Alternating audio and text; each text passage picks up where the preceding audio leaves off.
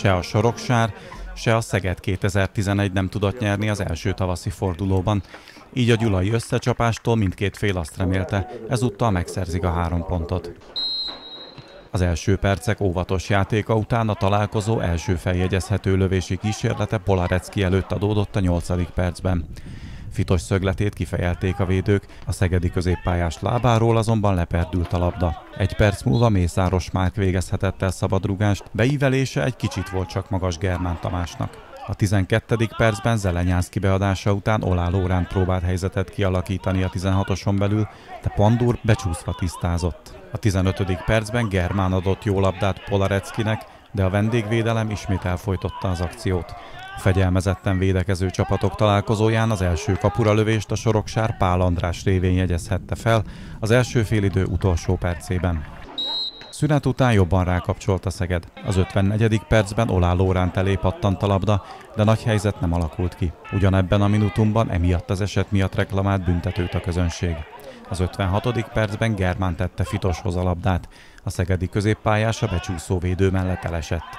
Farkas Tibor játékvezető először a 11-es pontra mutatott, majd szabadrugást ítélt kifelé. Egy perc múlva az ittszerben kilépő Olá Lóránt vette le hosszan a labdát. A 73. percben a csereként beállt Lisztes Krisztián passzolt Hodjaihoz, akinek a beadása egyedül találta a nem hibázó Lovrencsicset. A Soroksár góljára négy perc múlva jött a válasz. Fitos beadása után Máté Péter került helyzetbe, aki közelről a kapuba bombázott. A 84. percben Olá Gergő ment el a bal oldalon, de túl sokat várt, így a védők tisztáztak. A folytatásban is a Szeged tett többet a győzelemért, a soroksári védelem azonban állta a sarat. Egy perccel a rendes játékidő letelte előtt a csereként beállt Berdét állította ki a játékvezető, az eredmény viszont nem változott.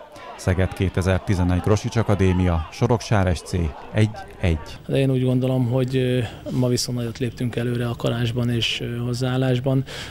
Küzdött a csapat, harcolt, voltak ugye benne lehetőségek is és az erejét az is megmutatta ennek a, a közösségnek, hogy azért megint egy sokból kellett fölálljunk az utolsó 15 percben. A soroksári szakvezető nem volt elégedetlen az egy ponttal. Nagyon magabiztosan és taktikusan futballoztunk, óriási becsvágyja küzdött a csapat, nagyon jó ambícióval léptek pályára, meg volt bennünk az a mentális erő, ami kell idegenbe ahhoz, hogy legalább egy ponttal térjünk haza.